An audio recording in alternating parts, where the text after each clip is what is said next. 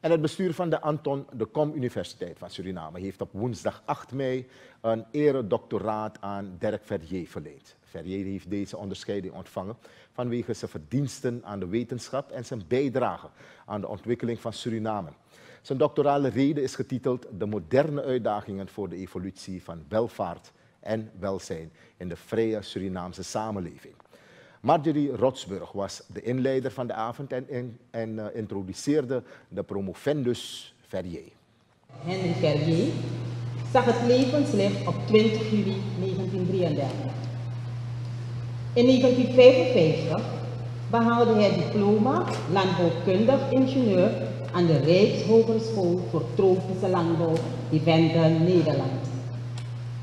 In 1965 behaalde hij de graad van Master of Science in de sociologie aan de Universiteit van Wisconsin, Verenigde Staten van Amerika. De heer Verrier was van 1956 tot 1961 als landbouwkundig ingenieur in dienst van het ministerie van Landbouw, Veeteelt en Visserij van Suriname.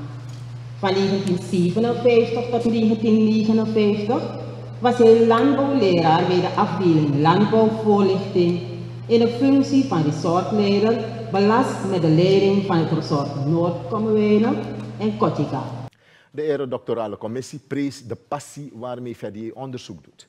De tot dokter benoemde wetenschapper onderschreef dat, die hij onderschreef dat. Hij gaf aan dat elke keer als hij het onderzoek doet, het een diepe indruk op hem maakt. Verdier hield zijn gehoor voor dat onze eigen Surinaamse samenleving heel interessant, uniek en dynamisch is. Je raakt dus nooit uitgekeken. Verdier zei verder dat welvaart en welzijn afhankelijk zijn van veranderingen van het klimaat en politieke machtsverhouding en in de wereld. Welvaart is de mate waarin door aanwending van beschikbare fysieke en andere middelen met financiële economische inslag op min of meer duurzame en voorspelbare wijze kan worden voorzien in stoffelijke en immateriële behoeften van de diverse categorieën van deelnemers aan de samenleving op een voor hen aanvaardbare wijze. Ik wil benadrukken het woord aanvaardbaar.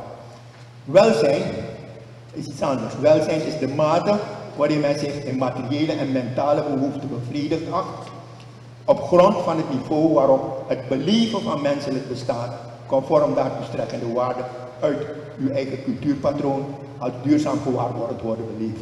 Het is een heel abstract iets, het is heel belangrijk, we praten er allemaal over. Maar de benadering van deze twee dingen in ontwikkelingsplanning, in uh, de evolutie van de samenleving, zijn hele complexe zaken.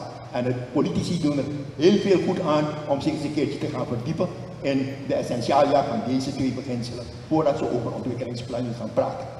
Verder benadrukt dat Suriname een vrije samenleving is waarbinnen personen en groepen geheel naar eigen inzichten kunnen doen en zeggen wat ze willen.